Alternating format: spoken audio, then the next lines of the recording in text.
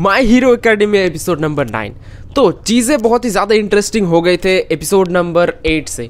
तो तोमोरा शिगोरा की हो चुका था अवेकन एंड वो मचाने लगा था तबाही। तो बीच में यहाँ पर मिडोरिया आ गया था उसको रोकने के लिए।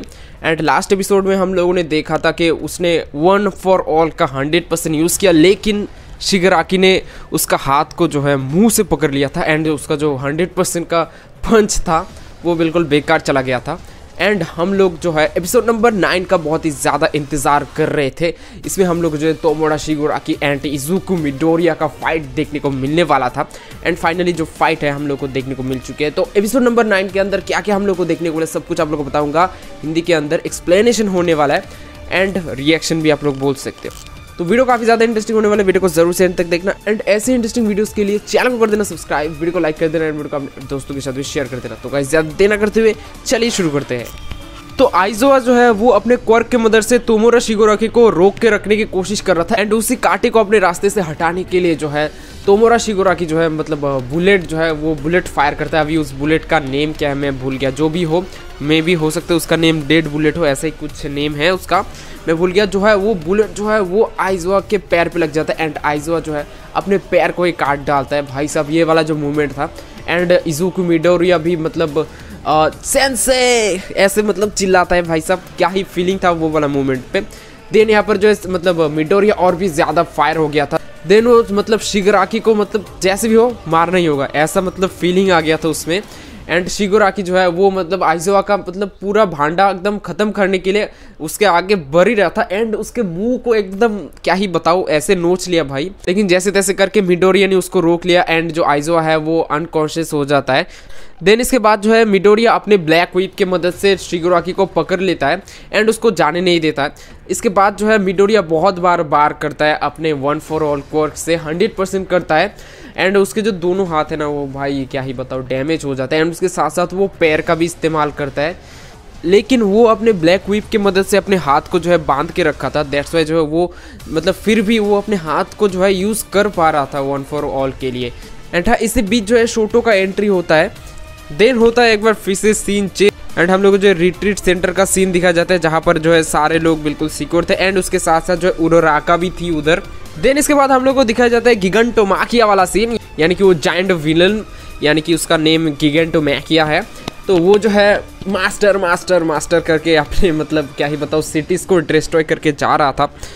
लेकिन दूसरी तरफ़ जो है हम लोग को मिडोरिया के फ्रेंड्स भी दिखाए जाते हैं, जो मतलब बैटल पे हेल्प कर रहे थे. यानी कि गिगेंटो मैकिया को रोकने के लिए, लेकिन वो लोग कामयाब नहीं रहे। एंड दूसरी तरफ़ जो है मैजेस्टिक आकर उन सबको बचा लेता है। देन इसके बाद जो है, बाकी हीरोज जाते हैं गिगेंटो मैकिया को रोकने के लिए, लेकिन मेरे को नहीं लगता कि उसको रोक पाएँगे इतना इजीली देन इसके बाद हम लोग को जो है टोकोयामी एंड हॉक का मूवमेंट दिखाया जाता है। यानी कि जहाँ पर टोकोयामी हॉक को मतलब सेव करता है गिगेंटो मैकिया के अटैक से। देन इसके बाद एक बार फिर से आ जाता है अपना मेन सीन यानी कि मिडोरिया वर्सेस शिगराकी शिगराकी तो यहाँ पर जो है शोटो दिखाया जाता है हम लोग को एंड एंडवर भी आता है। तो एंडवर अटैक करने की तो कोशिश करता है, लेकिन भाई मिडोरिया अपना लीड ले रहा था। तो भाई मिडोरिया ऐसा काम कर रहा था भाई मतलब प्रो हीरो उधर रैंक टू पर आए एंड सब काम भाई मिडोरिया कर रहा है भाई साहब।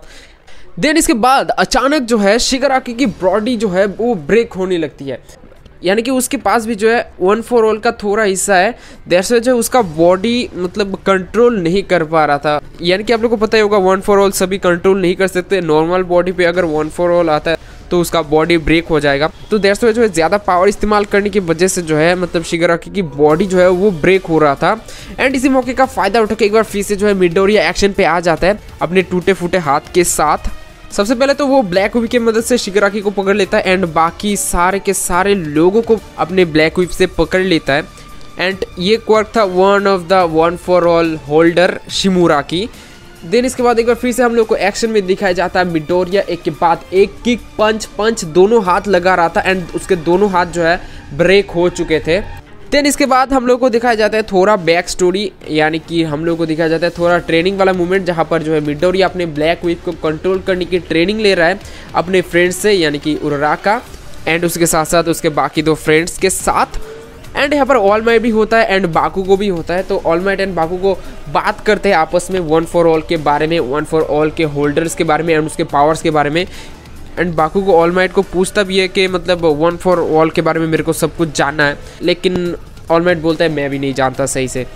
देन इसके बाद हम लोग को चाइल्डहुड मेमोरी भी दिखाया जाता है। एंड यहाँ पर जो है, एक इम्प्रेसिव वाला चीज़ है।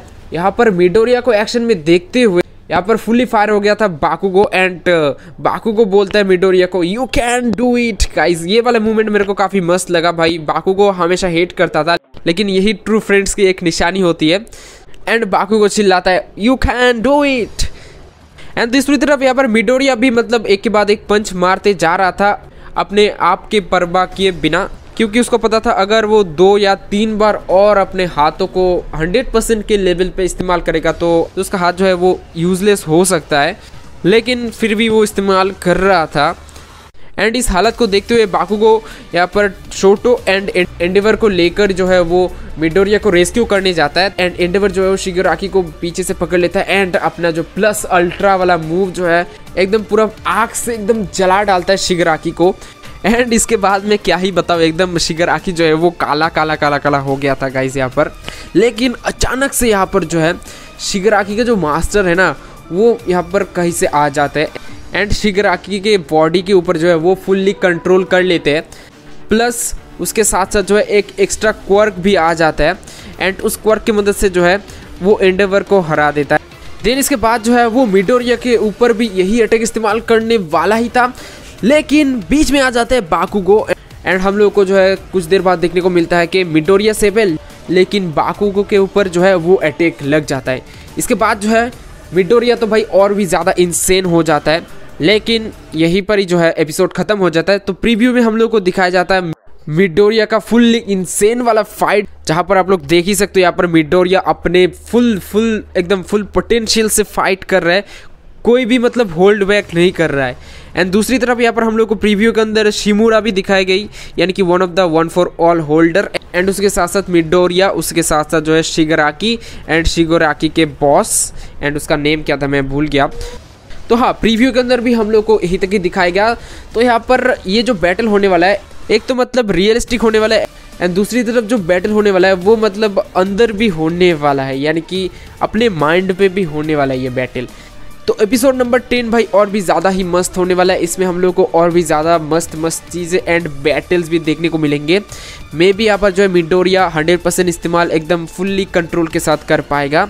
आई डोंट नो बट देखना पड़ेगा। तो हाँ आज का वीडियो यही तक एंड करते हैं। मिलते हैं और एक नई वीडियो के साथ। लेकिन वीडियो को एंड करने से पहले जो भी चैनल पे नया हो तो चैनल को कर देना सब्सक्राइब एंड वीडियो को लाइक कर देना। तो guys tata and bye bye